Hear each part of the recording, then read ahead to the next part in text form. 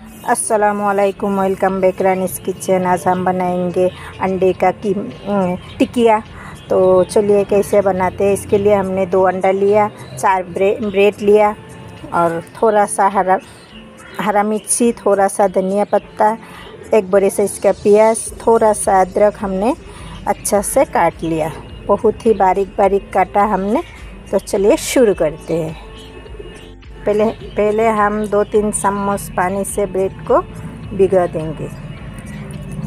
अब हम अंडे को ग्रेट कर लेते हैं। इसी में हम धनिया पत्ता, प्याज, हरा मिर्ची, अदरक सब कुछ इसी में डाल के अंडे को भी यहाँ पर ग्रेट कर लेते हैं। अच्छे से अंडे को भी हमने ग्रेट कर लिया। इस तरह। दोनों दोनों अंडे को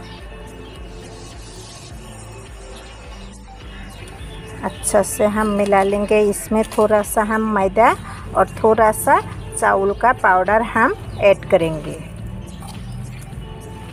स्वाद अनुसार नमक दो तीन चम्मच हमने मैदा डाल दिया। और दो तीन चम्मच हमने चावल का पाउडर डाल दिया।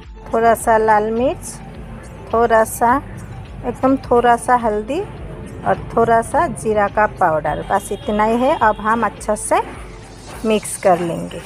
मैं थोड़ा सा ब्रेड गम ले लिया, टिकिया को शेप दे देती हूँ अभी। आपको जैसा मर्ज़ी ऐसा आप शेप दे सकती हो। इस तरह हम टिकिया बना लेते हैं। और ब्रेड कैम के ऊपर अच्छा से हम इस तरह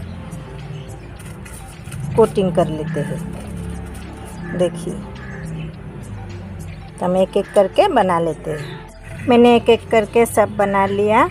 तो अब चलिए गैस पे। मैंने गैस को मीडियम कर दिया।